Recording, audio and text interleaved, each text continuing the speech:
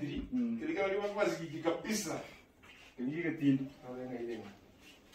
Entry, katika wale watu waziki kabisa. Kingine tin. Awenga ile. Barajia. Baende wale nake ukuli.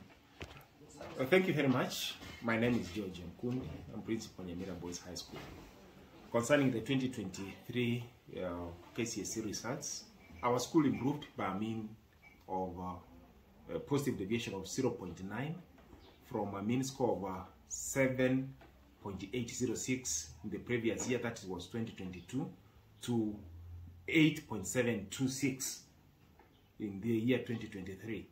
We had an increment in uh, the number of students proceeding to university, whereas in 2022 we had 225 boys. Uh, in 2023 we had 310. That was an increase of uh, 85 boys.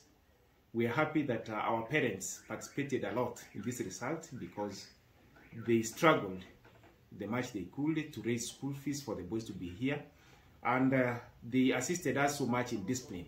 We had several stakeholders who came together and assisted the boys to be in school. Most of those boys were actually sponsored. We had sponsors that were assisting the boys uh, in school fees. The office of the governor, Nyamira County, the CDFs from various constituencies, the Equity Bank, Elimu Scholarship, they were here. So most of them, at least, that performed well. And we are happy that stakeholders invested well. Thank you very much.